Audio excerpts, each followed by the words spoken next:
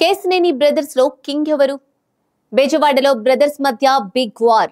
సార్వత్రిక సమరంలో గెలిచి నిలిచేదెవరు? అన్నదమ్ముల సవాల్లో ఎవరి దమ్ము ఎంత? టికెట్ ఇవ్వని టీడీపీని నాని ఓడిస్తాడా? అన్నను కాదని టికెట్ తెచ్చుకున్న తమ్ముడు సాధిస్తాడా? Let's watch.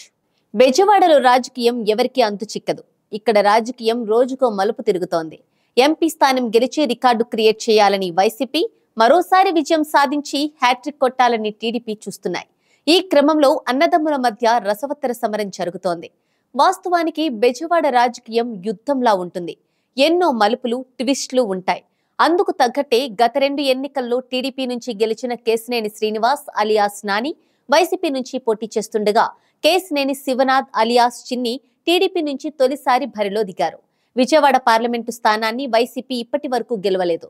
అందుకే ఈ ఎన్నికల్లో ఎలాగైనా బెజవాడలో జెండా పాతాలని ఫ్యాన్ పార్టీ ఫిక్స్ అయింది.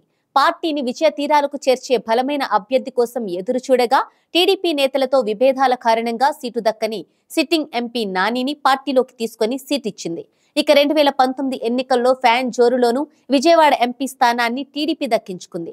పార్లమెంటు పరిధిలో ఒక్క విజయవాడ తూర్పు మినహా మిగిలిన అసెంబ్లీ సెగ్మెంట్లలో వైసీపీ విజయం సాధించిన ఎంపీగా మాత్రం టీడీపీ అభ్యర్థి కేసినేని నానికే బెజవాడ ఓటర్లు పట్టం కట్టారు అయితే పార్టీలో పరిస్థితులు మారడంతో ఎంపీ కేసినేని నాని ప్లేస్లో ఆయన సోదరుడు చిన్ని పోటీకి సిద్ధమయ్యారు. గత రెండేళ్ళుగా పార్లమెంటు పరిధిలో చాప కింద నీరులా పనిచేసుకుపోయి పార్టీ ముఖ్య నేతలను గ్రిప్లో పెట్టుకున్నారు. దీంతో అన్నకు చెక్ పెట్టి టికెట్ సాధించారు. ఇక ఇక్కడ సామాజిక సమీకరణలు కీలక పాత్ర పోషిస్తాయి. విజయవాడ పార్లమెంటు పరిధిలో విజయవాడ ఈస్ట్ విజయవాడ సెంట్రల్ విజయవాడ వెస్ట్తో పాటు మైలవరం నందిగామ జగ్గయ్యపేట తిరువూరు నియోజకవర్గాలు ఉన్నాయి. గత ఎన్నికల్లో ఆరు స్థానాల్లో వైసీపీ విజయం సాధించింది.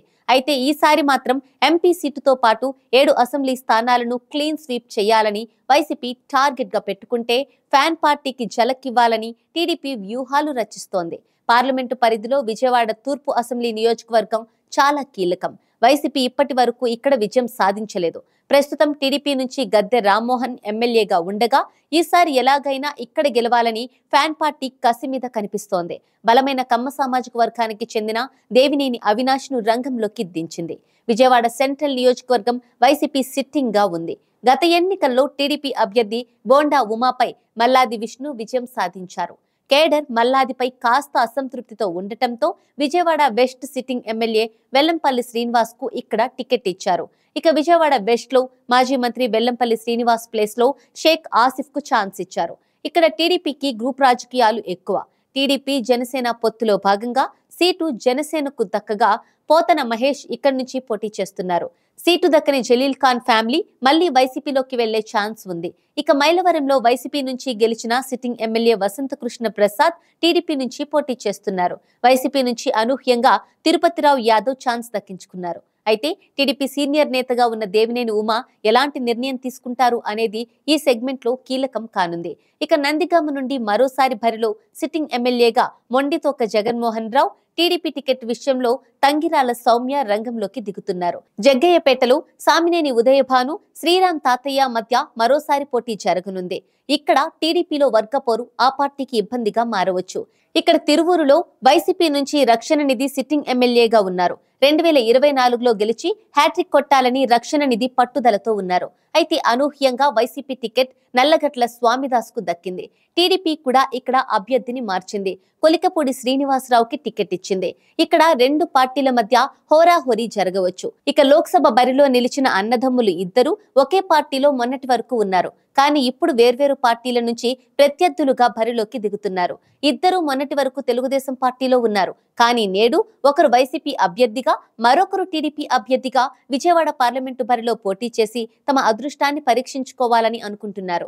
కేసినేని ట్రావెల్స్ అంటే రెండు తెలుగు రాష్ట్రాల్లో ప్రజలకు తెలుసు. పంతొమ్మిది వందల తొంభైవ దశకం నుంచే కేసినేని ట్రావెల్స్ అంటే సుపరిచితమే. ఏసీ బస్సుల నుంచి స్లీపర్ కోచ్ల వరకు తొలిత ప్రవేశపెట్టి బెజవాడ మార్క్ ఇది అని వీళ్ళు సత్తా చాటారు. అయితే ఆ వ్యాపారాన్ని చేస్తూనే కేసినేని నాని తొలిత ప్రజారాజ్యం ఆ తర్వాత టీడీపీలోకి వచ్చారు. రెండు వేల పద్నాలుగు రెండు వేల పంతొమ్మిది ఎన్నికల్లో వరుసగా రెండుసార్లు విజయవాడ పార్లమెంటు సభ్యుడిగా ఎన్నికయ్యారు. రెండు వేల పంతొమ్మిది ఎన్నికల్లో రాష్ట్రంలో మూడు స్థానాలు మాత్రమే టీడీపీ గెలిస్తే అందులో విజయవాడ పార్లమెంటు మాత్రం ఒకటిగా నిలబెట్టింది కేసినేని నాని.